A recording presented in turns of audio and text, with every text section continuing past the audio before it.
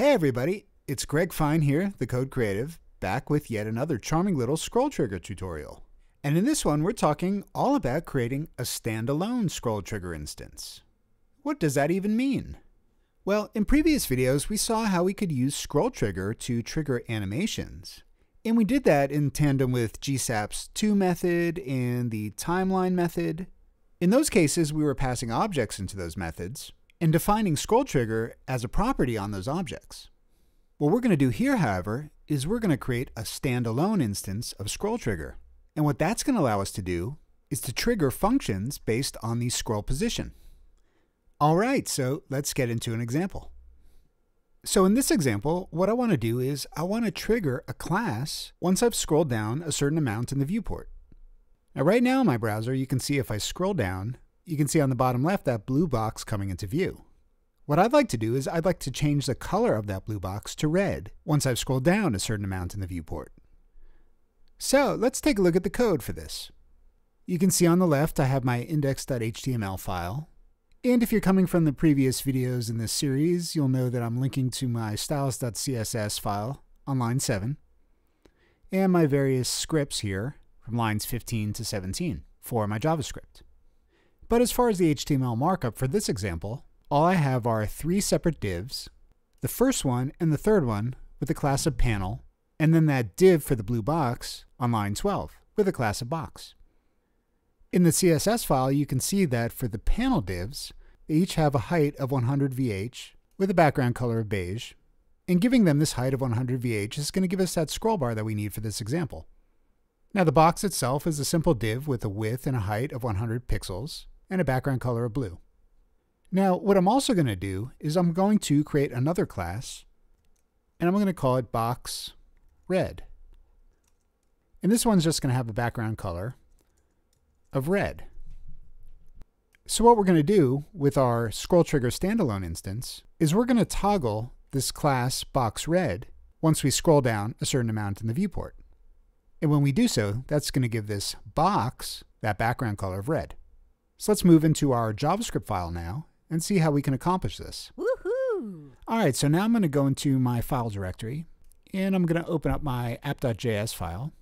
Let's close the styles.css file to make some room on the screen. And here we're basically starting fresh. We're just registering the scroll trigger plugin on line 1. Now the way that we create a standalone scroll trigger instance is like this. We do scroll trigger and notice that the S is capitalized here as well as the T.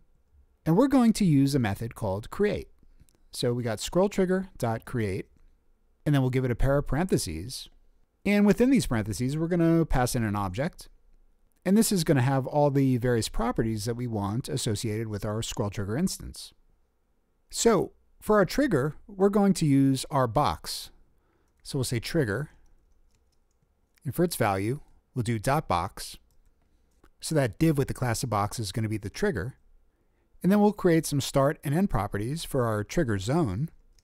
So we'll say that when the top of the box reaches 80% down from the top of the viewport, that's when that class that we want to toggle is going to be triggered. And then we'll set the end markers to be when the top of that box reaches 50% down from the top of the viewport. That's going to be when we toggle back to the original class with the background color of blue. So as you know from a previous video when we talked about markers, we can add a markers property so that we can see the zone between the start and the end points, and we'll just give that a boolean value of true. So now before we do anything else, let's just save and let's go to the browser to see those markers. So this is what we've got so far. We can see we have our scroller start here, 80% down from the top of the viewport. We have our scroller end, 50% down from the top of the viewport. And then when I scroll down, we can see the blue box on the left side of the screen, and we can see that its start point is at the top of the box. So what we're going to do is we are going to set up a property now on that scroll trigger instance so that when the top of the box hits this scroller start here, we're going to toggle that class that we added to our CSS, which was the class that we called box red with the background color of red. So let's go ahead and do that in our JavaScript file right now. Coming back into the JavaScript file, all we have to do now is add one property to this object that we're passing into scrolltrigger.create. And scrolltrigger gives us a property we can use to toggle classes. simply called toggle class, like that. And we can pass in here the class that we want to be toggled. And as we said, that class is called box red, like that. And in this case, this class is going to be applied to the trigger element itself, which is that div with the class of box. So let's save and go back to the browser and see it in action. So I'm going to start scrolling down. Notice the box is blue right now on the left side of the screen. And as the top of that box meets the scroller start here, it toggles to that red class. And now as I continue scrolling, we're going to see once the endpoint of the box hits the scroller end, there we go, it toggles back to blue. So in this case, we're seeing a standalone scroll trigger instance triggering that toggle class when it first hits the scroller start point and then when it hits the scroller endpoint. Oh, snap. Now, let's look at a few more real world use case scenarios where we might actually use a standalone scroll trigger instance to toggle a class. Well, here I am on this website called ExperionGlobal.com. And what I want you to pay attention to is the nav bar when I start scrolling down. So check it out. This is a common effect that you'll see on many websites. You see that when I started scrolling down, the nav bar changed to a background color of white, and the color of the text changed as well. So I'll go back. So you see how the text is white. In the background, we're getting from this background image. But once I start scrolling down a little bit more, you can see how these classes are toggled, where we get a background color of white, and we get that text changed to a color of black. And now here's another website that does a similar thing called capitalnumbers.com. And check the nav bar on this one as I start scrolling down. So there you can see another similar thing where that nav bar changed once I started scrolling. So I experimented with the code and I tried a similar idea myself. Although not as pretty as those examples I showed you, this still demonstrates the basic functionality. So I made my nav bar here. I gave the text the color of white and I added these links home, about, and contact, right? Typical stuff you'd see in a nav bar. And then I just added a whole bunch of lorem ipsum text here so we could get some scrolling action. But what I want to show you is that I'm using a standalone scroll trigger instance to toggle a class which is going to change the background of the nav bar to white and the text color to black once I scroll down a little bit. So check it out. See? See that change there? And if I go in reverse, that class is toggled back to its original state. So I'll just show you that one more time. There you go. And back. So let's take a quick look at the code for that. So here you can see the HTML that I created for this example on the left side and the styles.css file on the right side. And for the HTML, I've got a nav element here with a UL and three LIs inside of that for home, about, and contact. And then I also created a div with the class of panel and a paragraph tag within that with a whole bunch of lorem ipsum just so we can get some scrolling action going. And then in my styles.css file, you can see all the rules that I created for this example. I'm not going to go through all of them here because it's not fully relevant for the topic of this video. But just notice on lines 32 through 35, I'm defining a rule for a nav active class. And that's the class that we're going to toggle in this example which is going to give the nav a background color of white and change its text color to black. So now check out the standalone scroll trigger instance that I've already set up here in the JavaScript file. Notice on line 6 I have my trigger, which I'm setting to be that div with the class of panel. And on line 5, I'm saying that when the top of that panel div meets 6% down from the top of the viewport, that's when I want to toggle my class of nav active. And notice what I'm doing on line 7. In this case, I'm setting the value of toggle class to an object rather than a simple string. And the reason I'm doing this is that I want that class of navActive to apply to a different element than the trigger element. So in this case, I want that navActive class to apply to the nav itself. And this is how we can do it.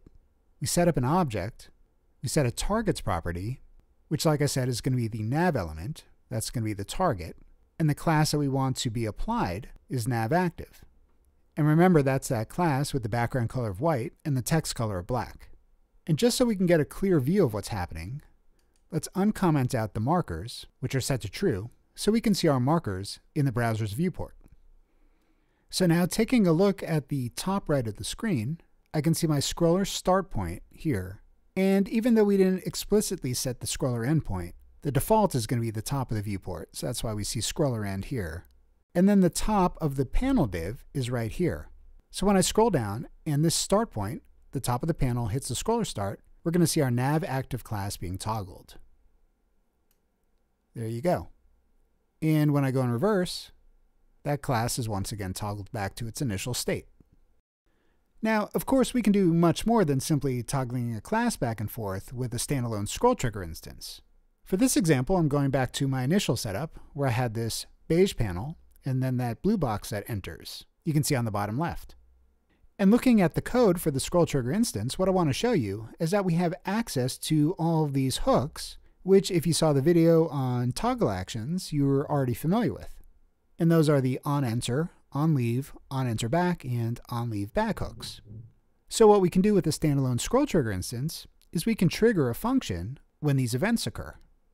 So just for demonstration purposes, I've simply console.log out some text on each of these events. So when that div with the class of box hits the scroller start point, which is 80% down from the top of the viewport, we're going to simply see the word enter logged out to the console. And then when we leave that scroll trigger zone, we're going to see leave in the console. On enter back, we'll see enter back. On leave back, we'll see leave back. So let's go ahead and try it out. So here in the browser, what I'm going to do first is I'm going to open up my console. On Mac, you can just do Command Option J for a shortcut. And then I'm going to start scrolling down. And notice once the blue box gets into the scroller zone, that we see that on enter event trigger our function. So here we go. Check out the console, and we see enter. And now we're going to see the box hit the scroller end, and so we see leave. And now let's come back in reverse. We see enter back. And as we come back even further, past the scroll start again, we see leave back.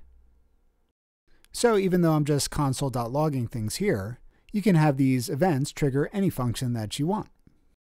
Now let's comment out these lines. And let's look at another event that we have access to, and that's called on update. And again, we can set its value to be a function. And we'll do console.log again. But what I want to point out is that on all these events, we have access to the scroll trigger instance itself. And that gets passed in as an argument to the function. And we can call it self.